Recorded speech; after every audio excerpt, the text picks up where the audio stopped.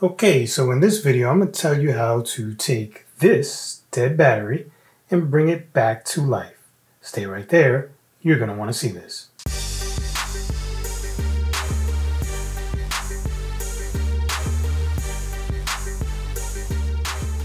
So here's what happened. The drill you're looking at stopped working. I've had this drill probably for over 10 years and for whatever reason the battery would not take a charge anymore. So I went on YouTube, of course, and I found a video, and if I can remember it, I'll share it down in the description below. So basically what this gentleman did was he boosted the battery using his car battery. I hooked up to, into my car battery with two wires, and then I ran the two wires to the negative and positive terminals of this battery. And, you know, and sure enough, when I threw it back on the charger, it worked. So then I thought to myself, well, I remembered I had a whole bunch of these kind of batteries, just standard double A's that were not working anymore. And luckily, I never threw them away because I wanted to recycle them properly and never got around to doing it. So they were just in a bag. So I had a couple of double A's, a couple of triple A's that didn't work anymore.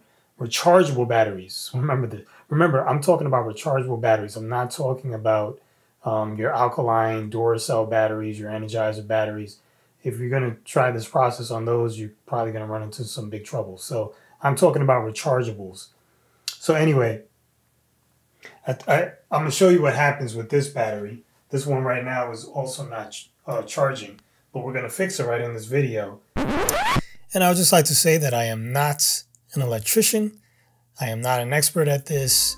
So follow these instructions at your own risk you are dealing with electricity and you could potentially get hurt. Okay, so we're gonna take this, we're gonna take this battery and just throw it in the charger.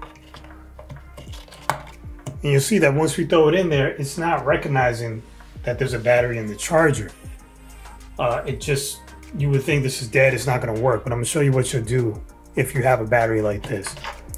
And this is a, this is a nickel metal hydride battery. I think that's what it's called. So the, the ones that are NiMH, that's the type of battery this is.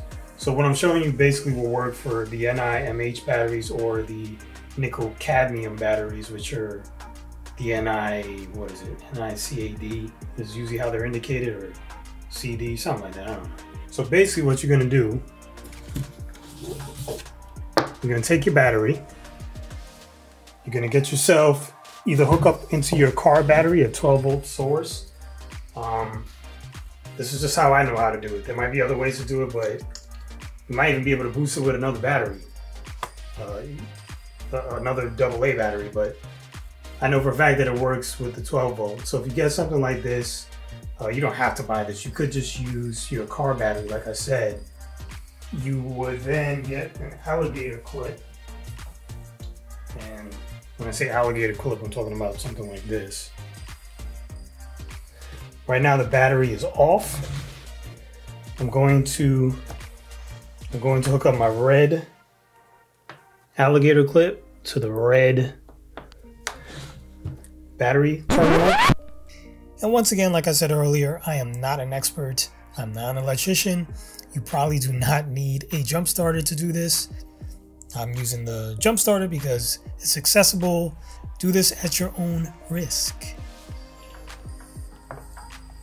And then I'm gonna hook up the black to the black terminal, which is negative. Now they're, they're hooked up. Then I'm gonna take my battery. I'll put it back so you can see it there. I'm gonna turn this on, but I'm gonna make sure that these don't touch before I turn it on because if they touch, they're gonna spark if this was on. Same thing if you had it hooked up to a car battery. Don't let these touch or they will spark and they'll scare you. So you turn it on, lights on, it's getting juice. Here's your positive, here's your negative. So negative is black, positive is red, and you're just gonna hold those there for about one to two seconds, really quick. You don't need a lot of time here. Turn this off.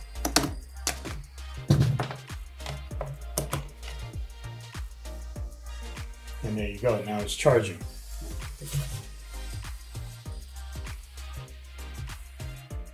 Thanks for sticking around to the end of the video. If you like the background music that you're hearing, that's provided by Soundstripe.com. And if you click on the link down below in the description, you'll get 10% off of your subscription. You're welcome. Now, I've been using Soundstripe for many years and I love it. Great music. And if you don't want to get any copyright strikes, you might want to check it out.